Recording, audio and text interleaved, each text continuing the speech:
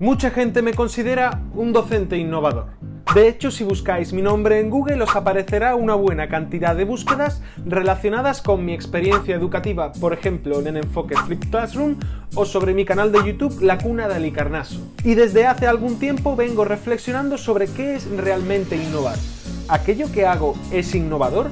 De hecho, esta misma pregunta surge en muchas ocasiones cuando estoy dando formaciones o cursos a otros docentes hablando sobre metodologías activas o sobre el uso de YouTube en el aula.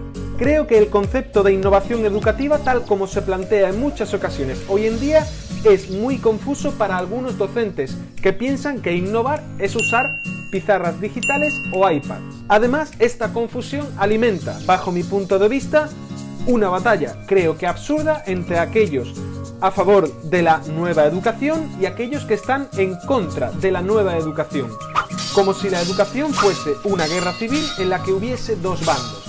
¿Y dónde se sitúan aquellos docentes que piensan que es importante innovar, pero que quieren hacerlo con los pies en su aula?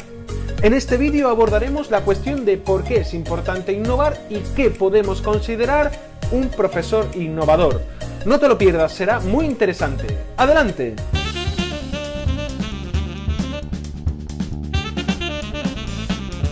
Creo que todo el mundo tiene que estar de acuerdo en que innovar es algo propio del ser humano. Es decir, el progreso está en una gran cantidad de sectores profesionales que se han ido adaptando conforme han cambiado los tiempos. El aula no debe estar ajena a esta realidad. ¿Por qué? Pues por muchas razones. Porque tenemos que adaptarnos al modo en que nuestros alumnos aprenden y se relacionan con los contenidos hoy en día. Y también porque tenemos que formar a nuestros alumnos en competencia digital, en reflexión, en trabajo en equipo y en creatividad, algunos de los valores que el presente y el futuro requieren nuestros alumnos. Creo que la mayoría de los docentes estaremos de acuerdo en esto, porque ahí es por tanto donde la sociedad necesita de profesores innovadores. Pero volviendo a la pregunta inicial, ¿Qué es un profesor innovador? Antes de responder a esta pregunta tenemos que responder a otra. ¿Qué no es un profesor innovador? En primer lugar, un profesor innovador no es aquel que usa o sigue un recurso educativo o un enfoque pedagógico por moda. Bien, a, ver chicos, escúchenme por favor, mirad, una novedad, a partir de ahora aplicaremos el enfoque Flip Classroom en nuestras clases. Profe, profe, ¿Flip qué? Sí, sí, veréis, Flip Classroom es algo súper novedoso. Consiste en que tenemos a partir de ahora que en casa... Pero, pero, profe, ¿usted ha reflexionado lo suficiente sobre si es aquello que nosotros necesitamos en nuestra clase? Es decir, ¿por qué lo hace en realidad? Pues a ver, porque es algo muy innovador y porque hay un montón de profesores en Twitter que están compartiendo cosas que hacen. Ah, en Twitter. Pero una pregunta, ¿usted ha reflexionado sobre si las implicaciones que tiene el modelo inverso en el aprendizaje son las que mejor nos va a nosotros? Es decir, ojo, que, a mí me parece muy bien esto de los vídeos y demás. ¿Pero es lo más adecuado para nuestro entorno socioeducativo? Mm, fuera de clase.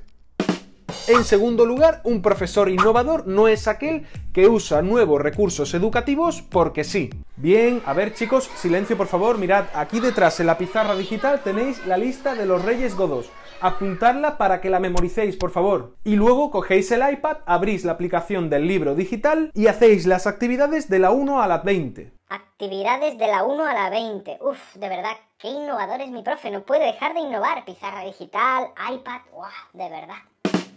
Y en tercer lugar, un profesor innovador no es aquel que hace lo mismo de siempre, llamándolo de otra manera. Bien, a, ver chicos, ¿me escucháis? Mirad, ahora vais a poneros en grupo, vais a hacer las actividades finales que vienen en el libro y luego vais a hacer un mural donde vais a pintar muy bonito todo lo que habéis aprendido en este tema, ¿vale? Ok, bien. de verdad, esto de, del ABP es mucho más fácil de lo que parece. Yo no entiendo esta moda del ABP cuando al final es hacer pues los trabajitos de siempre. Y ahora bien, ¿de qué hablo cuando hablamos de innovación educativa? ¿Qué es, bajo mi punto de vista, un profesor innovador? Pues para mí un profesor innovador debe reunir tres requisitos indispensables. El primero, un docente innovador es aquel que tiene muy desarrollada su capacidad de espíritu crítico. Es decir, un docente cuya habilidad para reflexionar, sobre su propia práctica educativa, le dé la oportunidad de identificar aquellos cambios que debe llevar a su aula según el contexto en el que trabaja.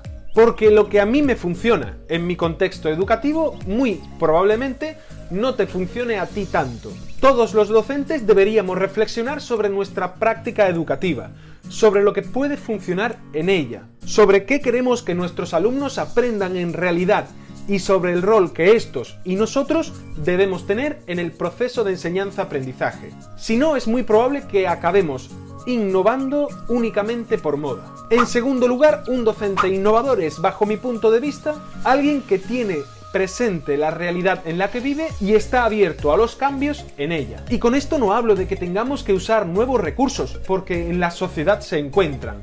Seguramente os sorprenderá el hecho de que el recurso educativo que yo más uso en mi aula es este, la tiza. ¿Por qué? Pues porque en mi entorno docente no tengo un recurso como este que pueda usar de manera tan regular. ¿Ello me convierte en un docente tradicional?